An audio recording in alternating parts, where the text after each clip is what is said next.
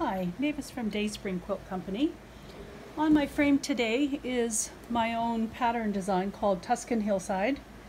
I have done a digital pantograph on my APQS Millie with Quilt Path. Uh, the pantograph's called Vineyard. I wanted just a nice texture that had the swirlies that would simulate the, uh, the little curls coming off the grapevine. Um, I have also done some raw edge applique on the grapes and now I am working on the leaves before pulling it off and putting it on uh, the binding pile which won't be there too long because I want to take it on a photo shoot before I can get this publish, pu uh, pattern published.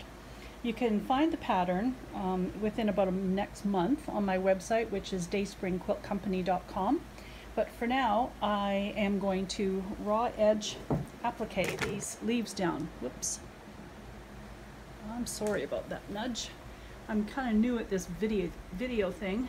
My husband's the videographer in the family, but um, so I'm new to his tools. But anyway, we're gonna just give this a go.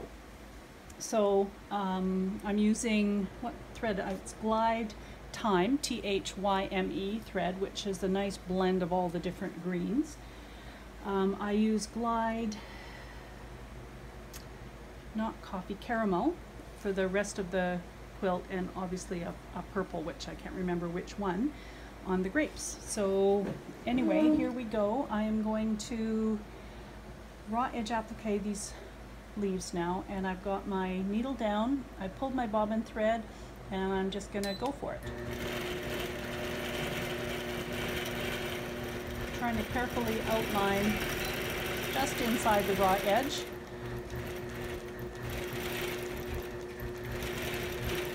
I've never really been a fan of applique because I thought it was a lot of work.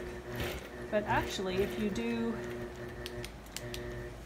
fusible this is apparently quite acceptable to do raw edge applique these days.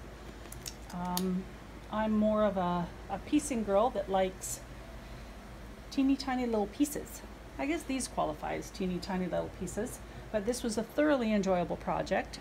And uh, if you care to join me on this quilt, I'm going to be doing some video tutorials on the construction of it um, as soon as the pattern is released. So stay tuned for that. But in the meantime, I wanted to give you a little demo of what I'm doing today before I bind this quilt.